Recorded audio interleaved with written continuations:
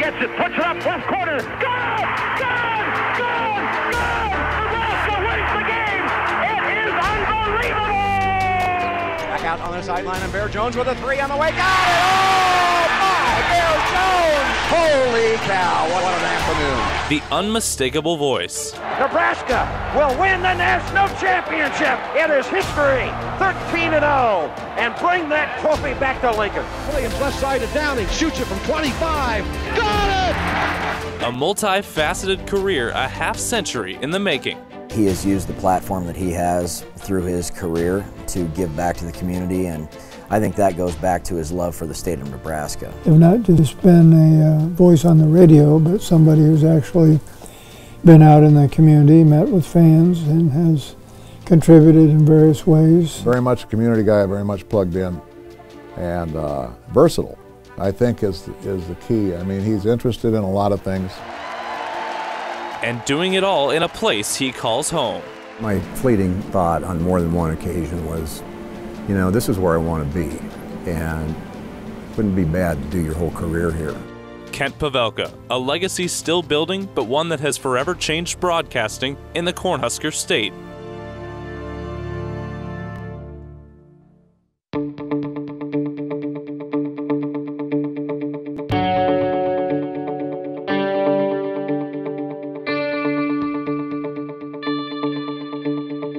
He's a Nebraskan at heart. Kent went to Lincoln Northeast High School. He was a rocket. I think he was doing high school baseball in Fremont in the early 1970s. First and 10 for the Tigers from the 10 yard line.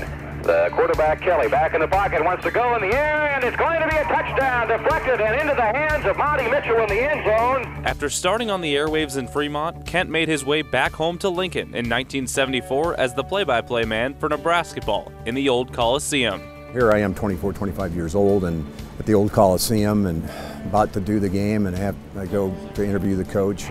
We have a jam-packed house on hand at the Coliseum in Lincoln tonight. Thinking he probably thinks, who's this punk? And color for Lyle Bremser on Nebraska football. Man, woman, and child did that. Put him in the aisle. Clark actually rode him like a steer, Lyle. He was on his back, and Dupree carried him seven yards before somebody else could come up and help Clark out and make the stop. Unbelievable.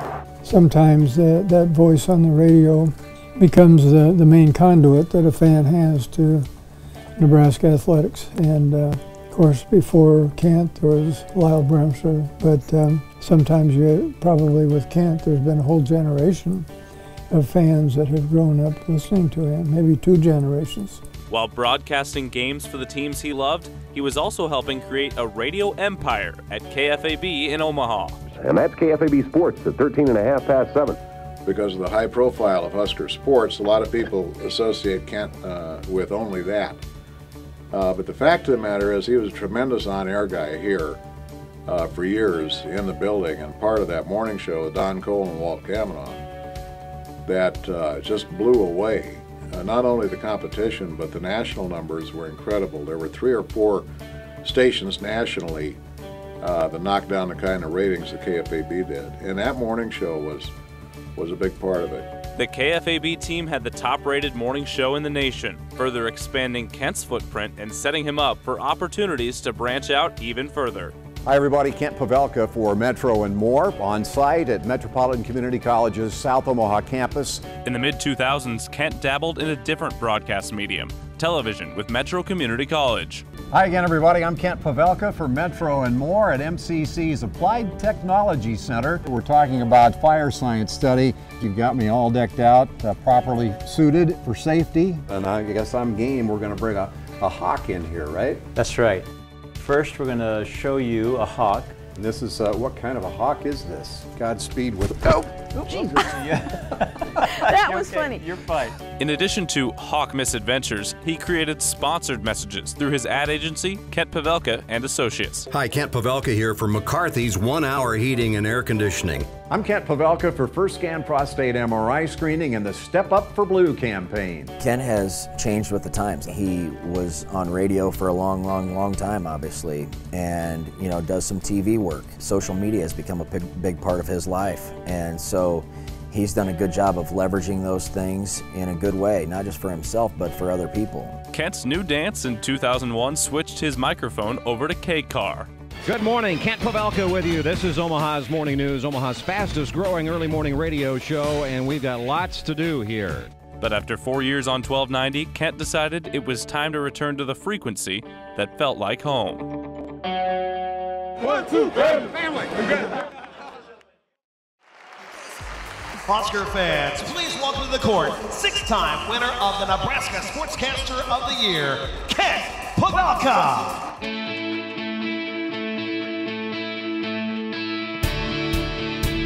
Long range three. Got it! Oh, man! Bang! A ring! Game is over! It's party time! It's time to twerk! Let's go dancing! He brings it every night.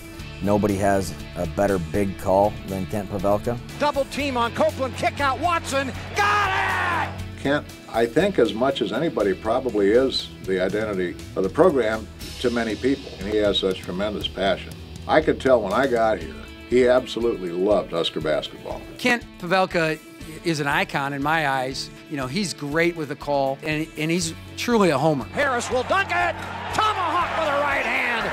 your face. He's a legend here in Nebraska. He's been doing it for you know 40 plus years. He's uh, the best play-by-play guy around, and Husker Nation is just blessed to have him. Consistency, longevity, and uh, a great work ethic. You know, he's always well prepared.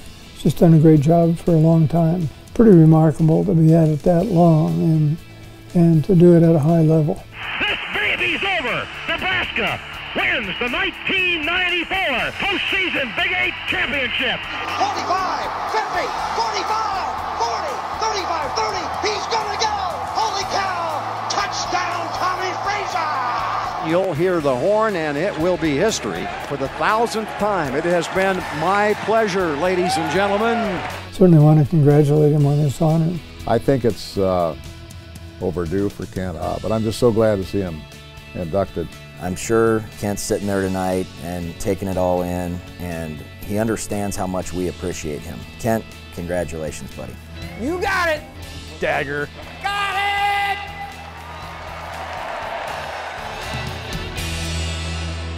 Congratulations to Kent Pavelka on his induction into the Nebraska Broadcasters Association Hall of Fame.